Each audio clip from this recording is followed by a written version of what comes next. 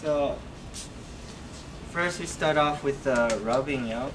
Um, you know, uh, a lot of times I work on the floor, uh, and things are a little different when you're on the floor. But um, when you're working on the table, it's best to do the rubbing from the side of the table. So you go to either side, whichever is comfortable for you.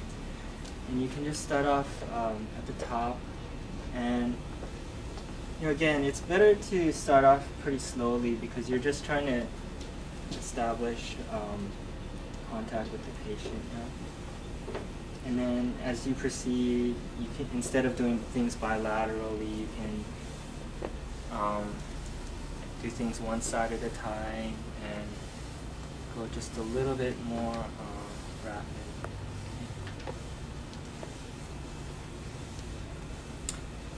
And then as you proceed onward, instead of just doing things um, pretty linear.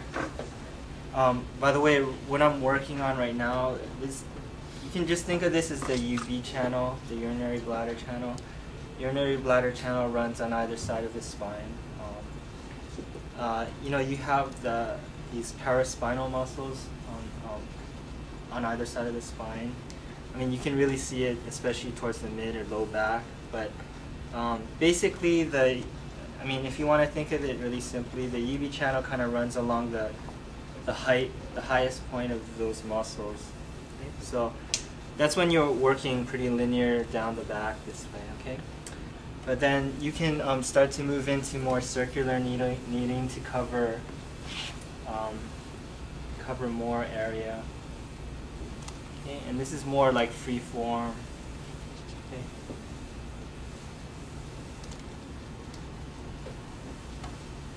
can even get a little bit more vigorous.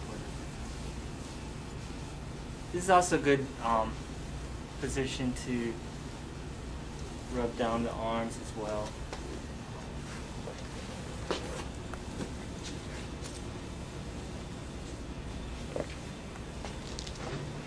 Um, okay, sorry.